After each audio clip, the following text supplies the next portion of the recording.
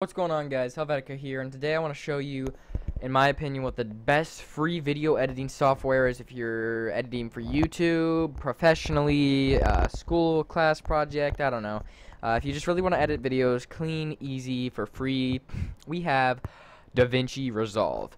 Uh, it's spelled right up here in the top left. You can see DaVinci D-A-V-I-N-C-I Resolve. I will have a link in the description to where you can download this. And basically, I'm going to just go through it really quickly here. What it is, is you have your main screen right here. You open up your project. Make sure you run as an administrator. You will run into errors like I did. And you find your files where your media is. You can have pictures, videos, and uh, you drag the pictures down to here. And this is your media pool. I have a couple videos and pictures in here. You go to your editing area. It's a bit laggy right now. I think it was it's been open for a couple hours. Plus I just got done rendering another video in here. I just wanted to use that for reference. As you can see here, it shows you your video. Yeah, see some of it's gone. Uh, this is kind of a corrupt file, but it just gives you a basic idea of what you have here. Your audio bar is here, your picture is here. You can edit all this position and stuff.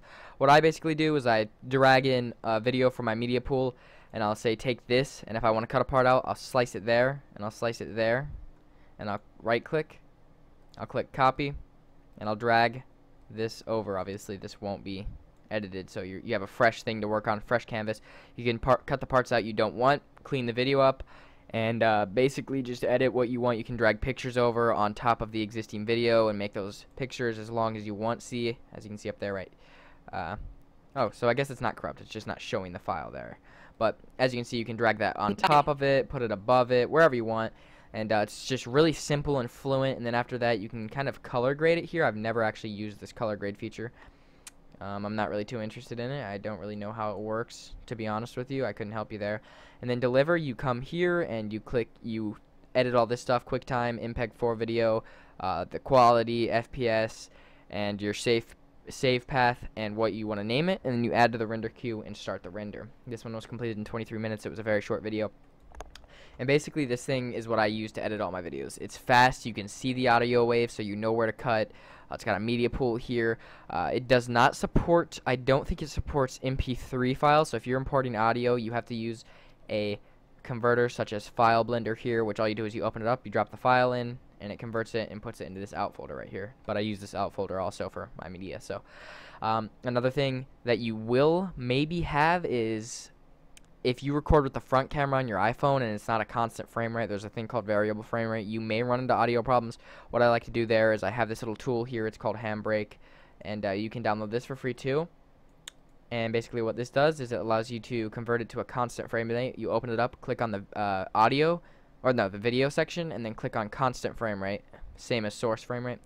Uh, use the source frame rate and then click constant frame rate and it'll go through convert it for you. You can drop it in DaVinci and edit it uh, no problem. If you have any questions about this editor you downloaded it and you have a problem with it just ask me leave a comment down below. Uh, I'm gonna try to help you out with that as best I can. So that's been it. This is the best free video editing software in my opinion.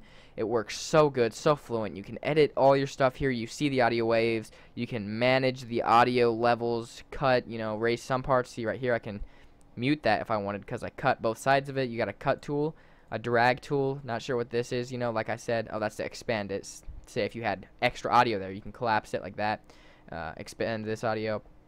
Oh, there's just a bunch of features, guys. I really use it to cut pieces out that I don't need in my video and to put pictures over it when I'm doing a video like the iPhone video where I need to show something up on screen and I want it to look nice and clean. So, if you enjoyed this video, please leave a like, guys. Let's go for a couple likes on this video. I usually don't get that many, but uh, let's go for a couple likes on this video. And if you aren't already subscribed, please subscribe so you guys can see my newest content. Um, so, if you're new here, welcome to the channel. Hit the subscribe button. It's free, and you'll see all my latest content. So, thank you so much for watching this video. I hope you enjoyed it, and I hope this helps you out and I'll see you guys in the next one. Peace out.